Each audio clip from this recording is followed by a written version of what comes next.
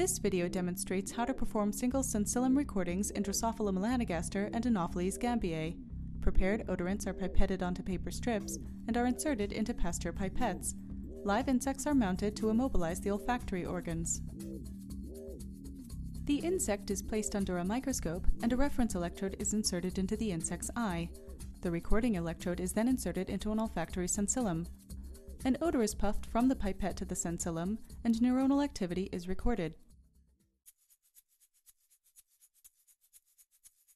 Hi, I'm Leslie Vosshall from the Vosshall Laboratory at Rockefeller University. And I'm Maurizio Pellegrino, also from the Vosshall Lab. And I'm Takao Nakagawa from the Leslie Vosshall Lab.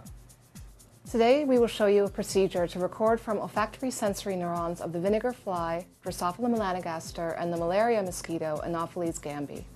We use this procedure in our laboratory to study how the sense of smell works in insects and how neurons respond to volatile chemicals. So, let's get started.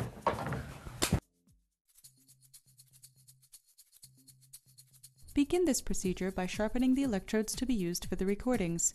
Using a drill, make a small hole about 2 mm in diameter on the wall of a 20 ml syringe 1 cm from the tip. Fill the syringe with filtered 0.5 molar potassium hydroxide and clamp it horizontally on a stand under a dissecting microscope with tip in field of view.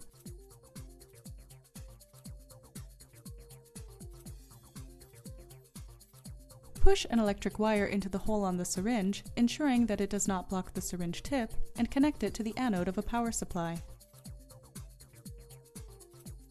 On the right side of the microscope, attach an electrode holder shaft to a manual micromanipulator. Then, using a crocodile clip, attach an electric cable at the base of the electrode holder shaft. Connect the cable to the cathode of the power supply. Insert a 5 cm piece of tungsten wire into the electrode holder and screw it to the shaft on the manipulator. Set the power supply to 6 volts. While viewing under the dissecting microscope, insert an electrode into the tip of the syringe such that 90% of the electrode's length is in the solution. After one minute, slowly withdraw the electrode.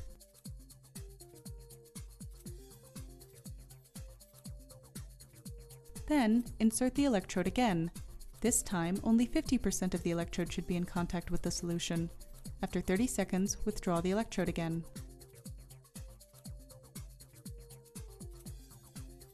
Repeat this process 10 times, each time inserting the needle such that 50% of the electrode is in contact with the potassium hydroxide. Once the electrode has been sharpened, it is ready to be used for experiments.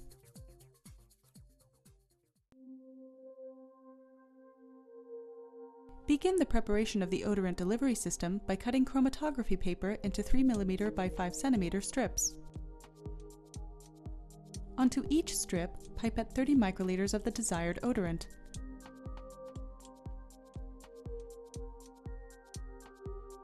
Then place the strip inside a glass Pasteur pipette. Attach a piece of airline tubing, about 3 cm in length, to the pipette.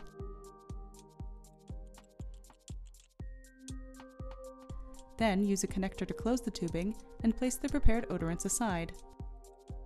Next, using a razor blade, cut a 10 ml plastic serological pipette at the 4 ml mark from the top. Discard the pointed end.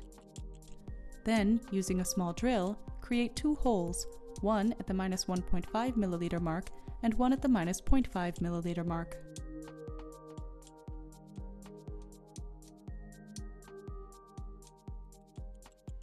Next, insert a 200 microliter pipette tip into a barbed coupler and push the coupler into the cut end of the 10 milliliter pipette. Clamp the pipette to a magnetic stand and position it near the microscope.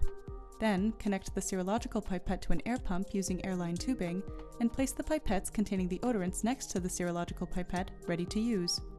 Next, screw the electrodes in the electrode holder and the probe connected to the manipulators on the microscope setup.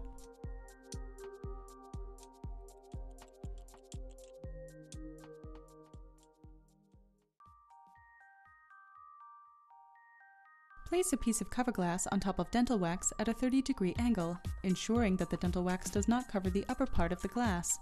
Then, place the piece of dental wax in the middle portion of a microscope slide. Now place an additional smaller piece of wax on the slide as shown here. On top of it, place a glass capillary pulled with a vertical puller. Construct a fly aspirator by inserting a cut 200 microliter pipette tip into one end of a 120 centimeter piece of airline tubing. Cover the other end of the tubing with a 1.5 centimeter by 1.5 centimeter piece of mesh and secure it into place by capping it with a cut 1 milliliter pipette tip.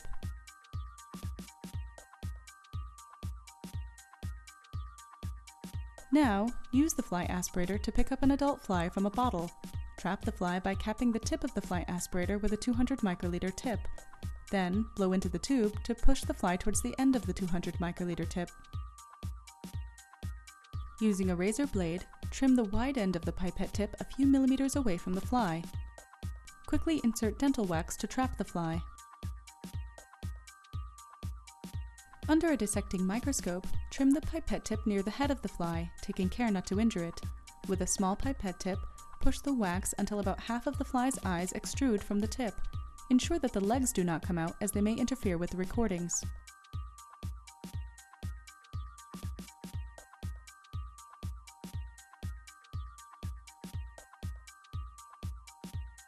Mount the fly on a piece of wax, its head facing upwards.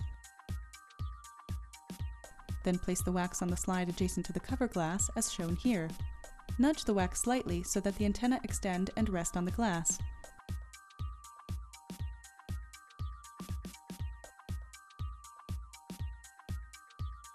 Fix the antenna by positioning the glass capillary in the groove between the second and third antennal segments.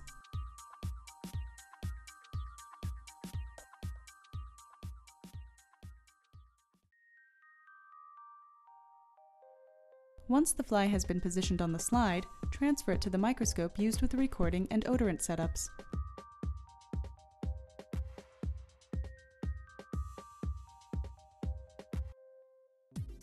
At low magnification, position the antenna roughly in the middle of the field of view. Gently lower the reference electrode and position it adjacent to the eye. Then lower the recording electrode and position it adjacent to the antenna.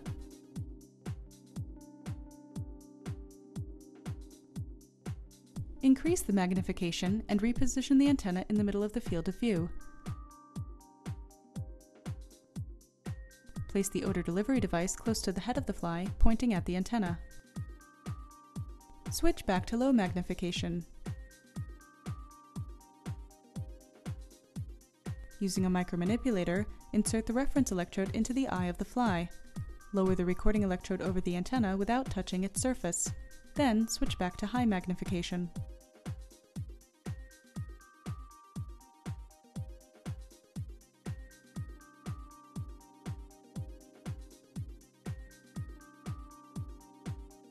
Using the micromanipulator, insert the recording electrode into a sensillum at any point along its length. When the electrode has been properly placed, spontaneous activity in the cells of the sensillum can be detected. If needed, the electrode can be pushed farther in or even all the way through the sensillum to obtain a better signal-to-noise ratio.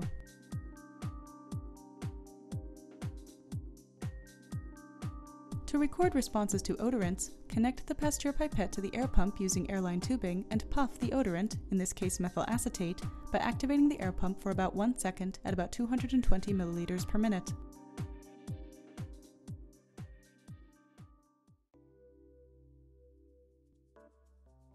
Using an electric aspirator, collect 40 to 60 3 to 5 day old mosquitoes in a small plastic cage.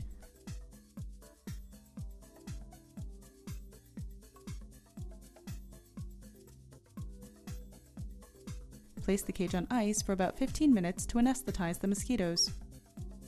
Once the mosquitoes have stopped moving, transfer 4 to 6 mosquitoes to the dissecting microscope stage. Both male and female mosquitoes can be used for recording. In males, the antennae appear feather-like, while in females they appear filament-like.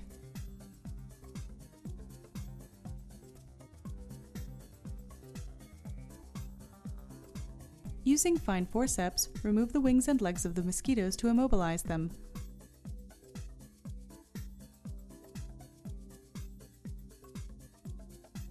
Once the wings have been removed, place the mosquitoes in a humidified plastic cup to prevent them from desiccating. Place two 1 centimeter long pieces of double sided tape parallel to each other and approximately 1 centimeter apart at the center and at the side of a glass slide.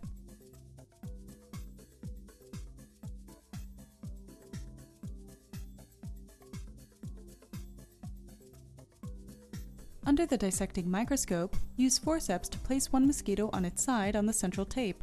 One eye will stick to the tape. Adjust the position of the maxillary palps so that both extend parallel on the tape.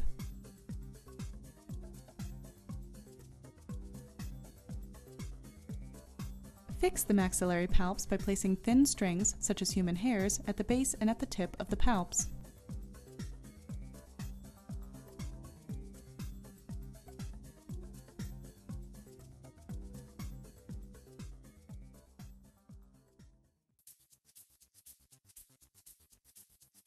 Once the mosquito has been positioned on the slide, transfer it to the recording setup. Under low magnification, position the maxillary palps roughly in the middle of the field of view and the head at the top. Rotate the stage until one of the palps is at a right angle with the recording electrode. Adjust to the height of the electrodes so that the reference electrode is positioned just above the eye of the mosquito and the recording electrode is near the maxillary palps.